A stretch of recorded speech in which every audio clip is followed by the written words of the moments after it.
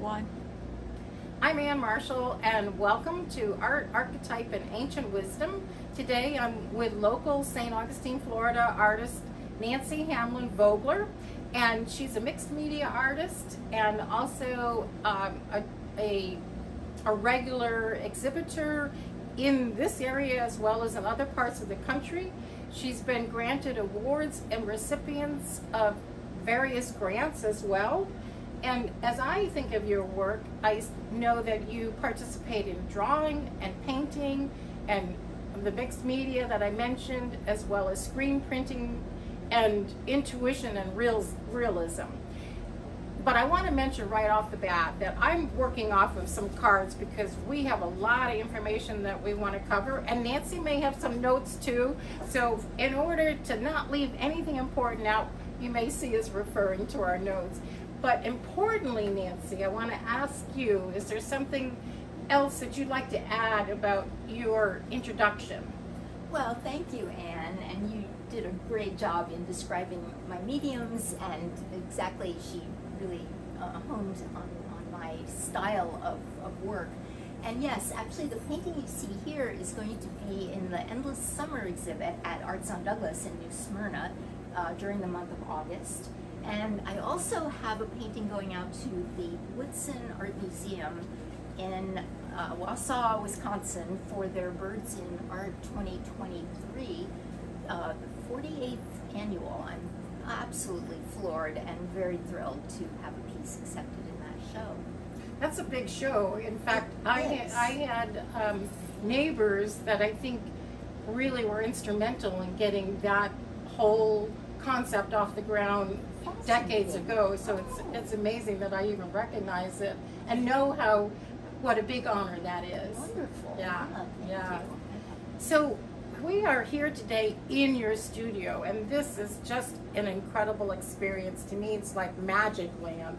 and tell us about where we are in your in your studio here and the magic that happens.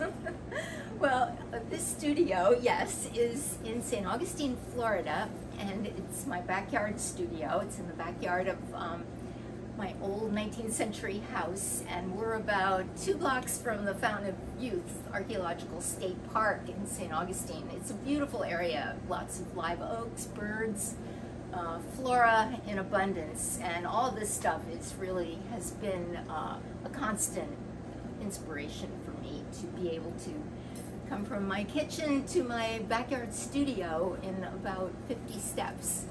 so, so welcome. I hope um, it's it's a large space. I'm really grateful to have this space, uh, especially since I used to be uh, do silk screen printing, which uh, by its very nature of um, uh, using organic well, not organic vapors, which are not organic at all, they're toxic. So I had to open the whole place up when, while I was printing and it worked out very well. Um, now I'm doing more painting with aqueous materials, and they are not toxic. So, so it's it's a pleasurable place to work. So I think next to you then is this display of kind of where maybe you actually started out at as the fine art card maker and still carry on that, that business of the card, but then certainly evolve to something um, of the different mediums and uh, then different actual results in terms of size and presentation and all. Do you mm-hmm. want to talk about that path? Mm-hmm. Yeah, certainly. So after college, where I was a French major, I, I taught French for a few years and then went to grad school in, uh, in Maine to also study French literature. And during that time, oddly enough, I uh, I took art. I gravitated to the art department. I had always been like a hobby artist, summers, but um, I just was so taken by the um, printmaking department and learned the, the process of silkscreen printing. And uh, so, armed with that knowledge, I um, abandoned my idea to become to go on it for a PhD and become a French professor. And uh, instead, I started a greeting card company. Back then, was known as Northern Kingdom Printworks. And then, when I moved, um, returned from a trip to Colorado, I named the company Eastern Sun Printworks. And at this point, well, that was maybe almost 40 years ago.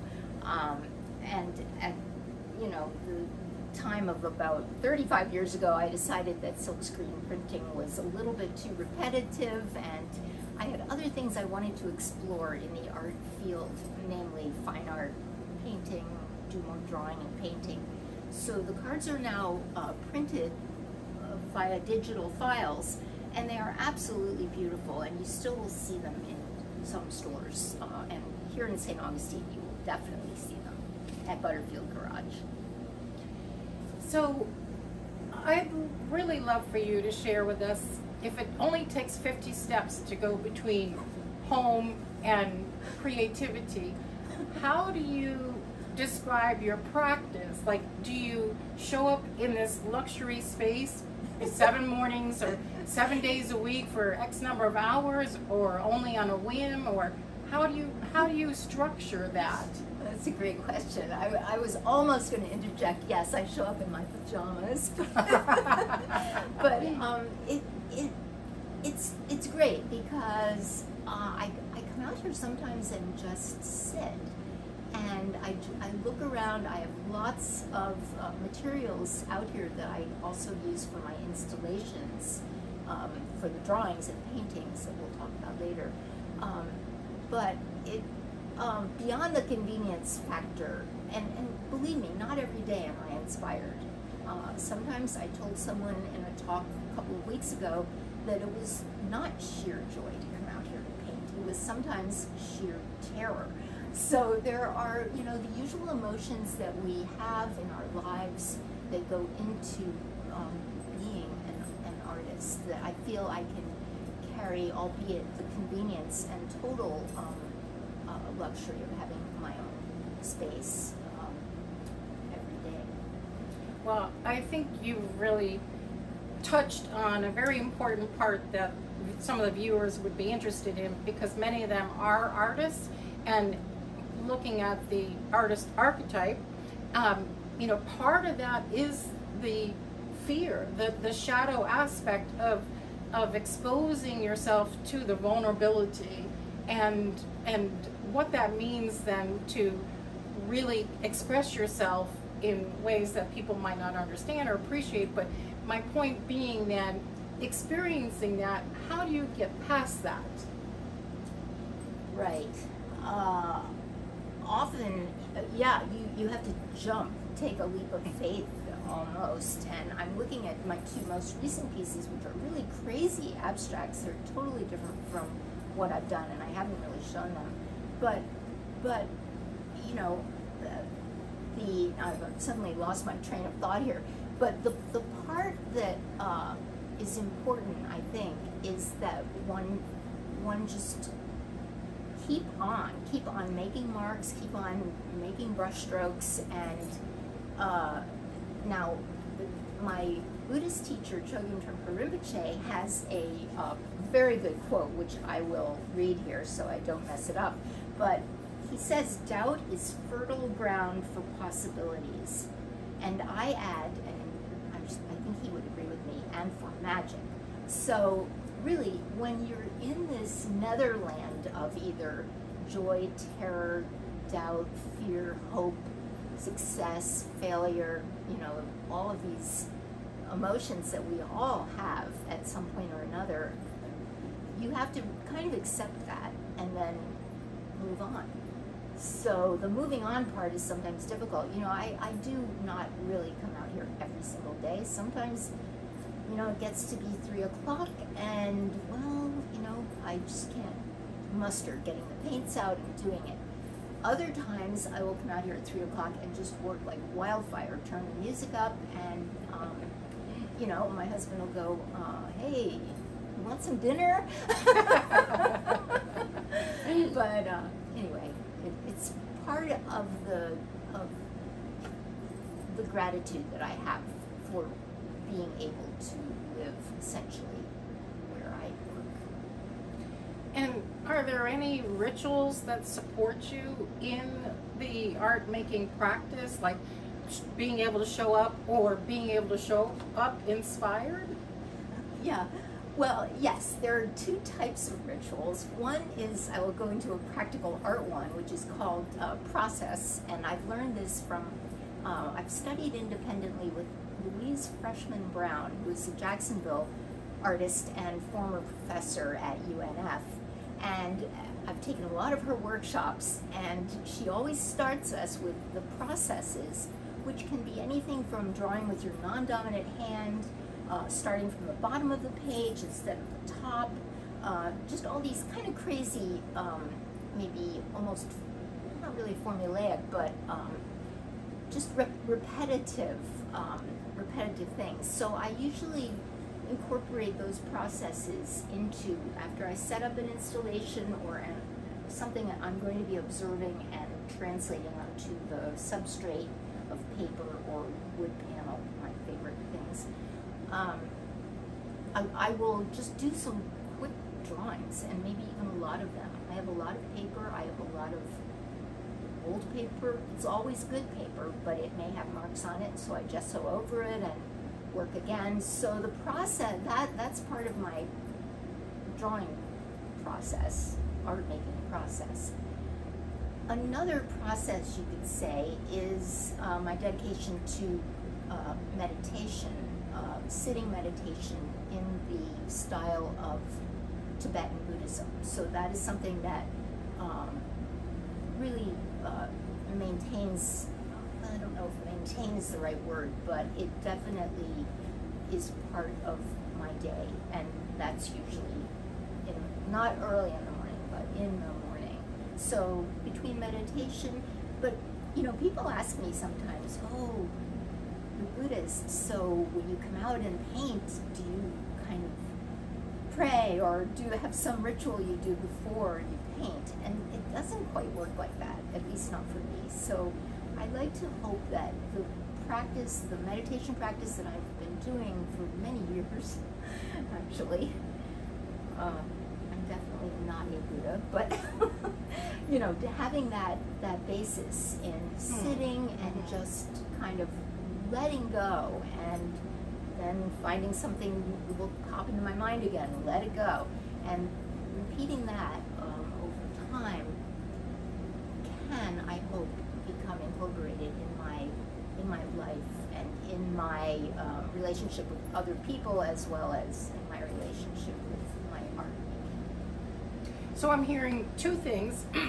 One is that your initial drawing with a non-dominant hand or starting from the bottom of the page up is, reminds me like playing the scales before you move into Debussy or something. Right. And then the other thing is about the meditation is that kind of bringing your awareness to the presence so that you can be open as an intuitive channel. Ah, very well said. Yes, it, it, is exactly that kind of clearing, although understanding that, you know, the fog will come in again, or the confusion, or the disappointment.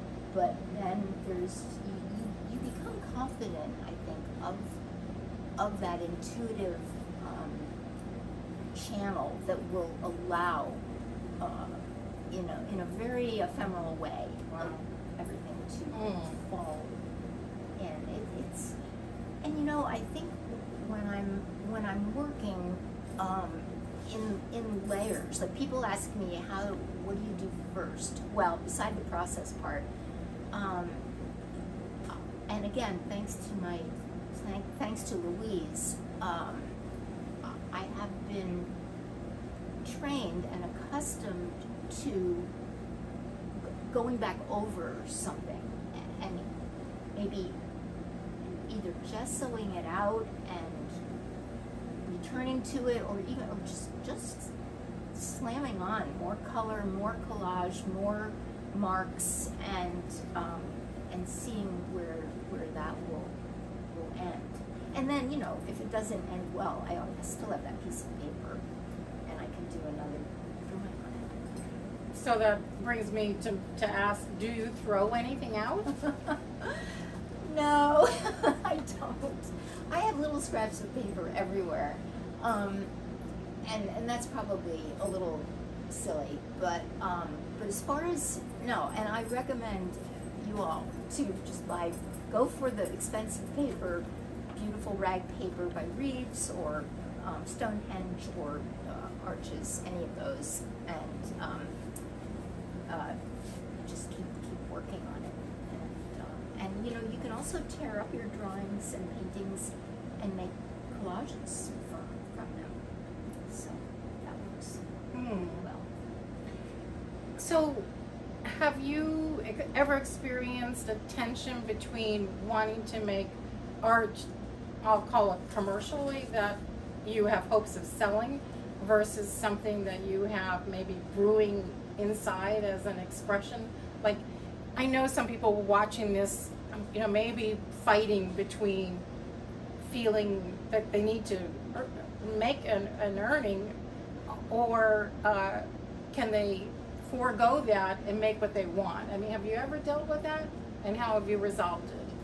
Well, again, um, I my husband had had a had an, a of he was a nurse, and um, so it, it wasn't like I felt forced to um, make a living as an artist. But then again, back then I, I, I ran a greeting card company, so I definitely thought about uh, economic matters. Uh, I actually find accounting sort of interesting, and I did it all. You know, back then I ran a I ran a, a little shop with employees, and we had sales reps, we had distribution, we sent cards all over the country, and so that was that was a commercial enterprise, and it was profitable, and um, uh, I, I can't really say the same thing about fine art, uh, although I, I've done many art shows, the outdoor festivals, we have lots of them in Florida and around the country. And sometimes those have been very profitable, other times not so much. Um, currently, I'm in a gallery, it's a collective uh, local gallery named Butterfield Garage. And uh, th- that's certainly an opportunity to sell. My work is on the wall all the time, and people, you know, know about me. However, I can't say that, you know, it just flies away uh, all the time. You know, art is such a um, um, ephemeral. Well, I use that word. Um, it's it's it's difficult because people don't have room on their walls or they don't have, you know, any discretionary funds. After all, it's kind of it's a luxury. But I'm, you know, nonetheless, I'm extremely happy for the people who do collect my art, and I know they love it, and you know, um, the the the material, you know, the mercantile aspect of it will always be there. Um, I think, and, and it's it's also the. I feel badly just making art and having it pile up. So I like to. Um, ano- another idea I for people is to really make an effort to, you know, to present your work to galleries, to find a show that might be appropriate where you could apply and submission fees aren't that high. Um, just make yourself available and you'd be surprised. People will want to support you. And a lot of people do. That's very, very good advice. so, how do you balance the art making business and the art making practice? It, it used to be that when, when I ran the greeting card company, I, I would not have time to make art. You know, if, a workshop was every six months, I would not make art in between workshops. I would make cards. Uh, nowadays, I I really I, I have a rep out in the Bay Area, and she sends me orders occasionally, and I have a few um, house accounts who, write to me and make orders. Actually, Powell's Books in Portland is a really good customer. They buy the cards, and I just feel wow, this is this is great. And I have an Etsy shop too, where I sell prayer flags, um, Tibetan Himalayan style prayer flags, and I feel that's a very um, lovely option, and people love them. I make them in rainbow colors, and that's really a nice thing to imagine hanging on outside people's homes. So, you know, the balance part, I don't know quite how to respond, except I can, you know, I can bear with it and feel happy. Hmm. Those prayer flags, are they um, screen printed on fabric or how, how do you? Yes, yeah, Okay. they're screen printed. Now, over in the Himalayas, I've been to Nepal, I've not been to Tibet, but um, they are traditionally woodblock printed, carved in wood blocks, Wow. and then um, uh, printed by the monks um, on very thin muslin. So I have taken um, a pattern uh, that's a free range, I don't know, or not copyrighted. It's a general prayer for happiness for all beings that's in Sanskrit and made screens. And then I've made some mantra um, designs, like mandala designs that are printed on flags too. Hmm, Nice. Yeah, it's fun. It's fun to do, and yeah. Now, you know that I'm very much interested in the influence of archetypes. And so I was wondering if any of these might resonate with you. And so I, I made a short list. If you'll just listen to the list and see if anyone really hits you, maybe it won't, or maybe something else comes to mind. So the list I made was adventurer, detective, hermit, shaman, shapeshifter, mystic, alchemist, dreamer, seeker, and storyteller. Oh, that's great. Um, well, I I definitely um, probably storyteller shapeshifter may fall to the less thought of, but I, I feel in a way parts of many of those qualities. Um,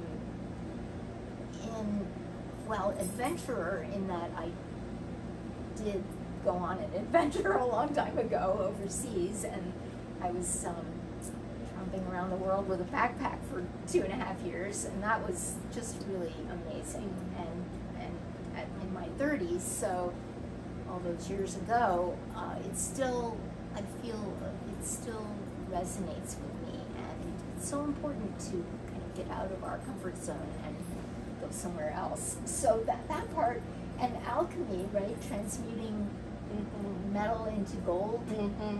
I I love to think that the art making process has this uh, aspect of, of alchemy and, and, and magic. Um, maybe shaman seeker would not come in. Um, yeah, hermit. I I could be a hermit. I was a hermit for a while. Um, and but it, but definitely adventure adventure. Um, and it, I had written down in my notes the the, uh, the, the quote about doubt being fertile ground for discovery. So, I mean, adventure and doubt or being in the unknown, I Mhm, think, mhm. is. Um, very but much. I'd love to learn more about about these um, categories. Well, and being in that unknown, being out of the comfort zone, I think is very much in keeping with the artistic process because every time you're facing that blank slate, it, you know, you do have to kind of get past that moment of entering into the unknown. So I can see where that's in keeping, and, and I definitely think that the whole idea of alchemy is very much in alignment with uh, artistry because it, it's like it, this is the laboratory you know this is where it Right. happens and and alchemy always applies pressure and so maybe it's the friction of pen on paper or you know the viscousness of water and paint but you know you're adding the ingredients and you don't know how it's going to turn out Mm-hmm. but it's going to be something beyond the sum of its parts Mhm. so Mhm. Mhm. i can really relate with that what are you working on now Well, I just finished the Shoreline series called Hanging by a Thread, which uh, was on display at um, a featured artist at Butterfield Garage. Um, I'm trying to get a few of those pieces still finished, even though the show is over. I'm still working on those pieces, and um, so I, I am I'm these these abstract pieces that I'm doing are, are very intriguing. So I think I'm going to do a few more of those and then get back to the backyard studio kitchen, which is coming up next year, in sort of a, a revisited form at Arts on Douglas in, in New Smyrna Beach. I have a whole gallery myself for a month, and that's going to be very exciting. So the art, the backyard studio kitchen was the still life with kitchen elements, a tea kettle, um, um, kitchen utensils, um, you know, a bunch of still life stuff from, from the kitchen that I kept drawing for about a year and painting and had a show of that called Swimming in the Infinite. So we'll see. I guess that will be where I'll be at. Hmm. And I'm always intrigued by fig- going back to figurative work. Wow. I have uh, basically these categories that I feel like I revisit.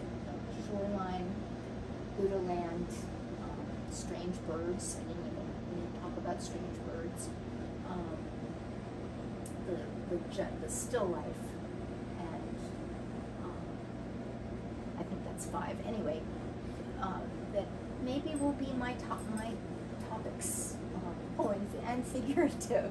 So the figurative one has really taken a back seat these last few years. Hmm. Back to It'd that. be interesting. You could pose for me. Oh, and, okay. um, I'd- love to. Because I love to incorporate figures in a still life. It really Hmm, livens, Wow.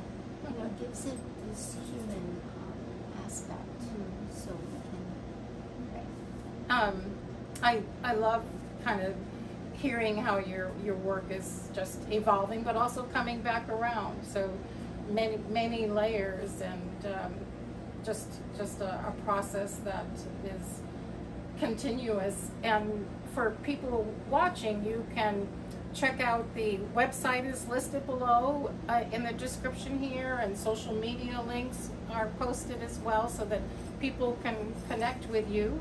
Um, and is there something else you want to talk about briefly before we bring things to a close? I want to make sure we capture what's important to you. Well, you, um, we had spoken some time about a, a, a world view of um, what what art, contemporary art, especially or any art, really does contain the possibilities for changing the world.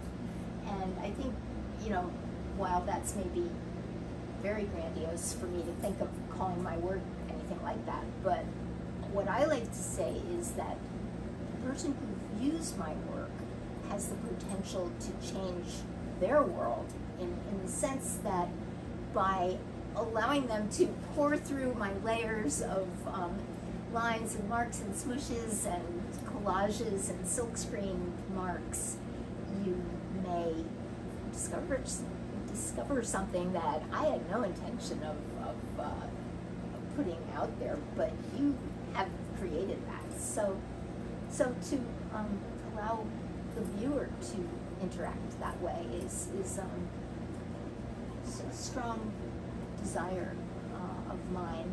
While I know it's rather unsaid in the pieces, you know, but So does that respond to the question?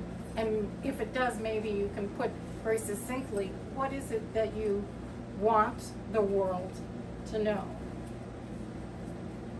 Right. It, it was riffing off of that. Um, and and I I could fir- I mean my first thought was, you know, John Lennon. You know we want we want imagine peace. we want the world to. Uh, I want the world to know that I, I wish that for everyone peace and happiness and um, compassion, love, equanimity, all those good things.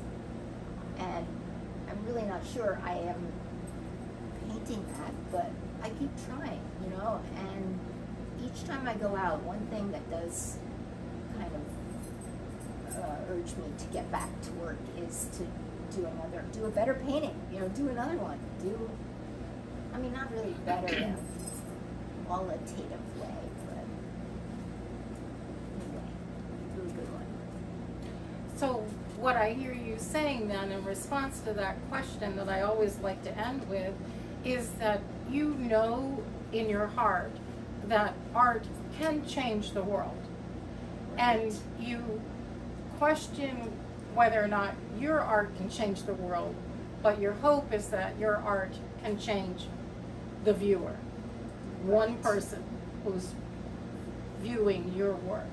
Right. Wow. Yeah, it's it's sort of hard for me to think of the, world, even having traveled it, you know. But before I I did that trip, I was you know lived in the Northeast and didn't travel anywhere. But um, but you know, e- everyone may can make a difference. Each individual can make a difference. That was well put. Thank you. Thank Ev- you so Everyone can make a difference. Just a complete pleasure and delight to be with you- you here today. I mean, I almost feel like crying because I think it's, it's just so impactful and, and yet the simplicity is underlying it all. And I'm just so grateful. Thank you very, very much. Please check out, woo, yeah, let's Thank you, celebrate here. Please, please check out Nancy's website and contact her for more information. Well, thank you very, very Thank much you. for for even considering me. Here I go. We're just throwing papers everywhere. I think it's appropriate in the studio, right? That's right, it is. We and we're not gonna throw them out. We can use these as collage. all right. Every well, little and Thank you all for watching. Thank you.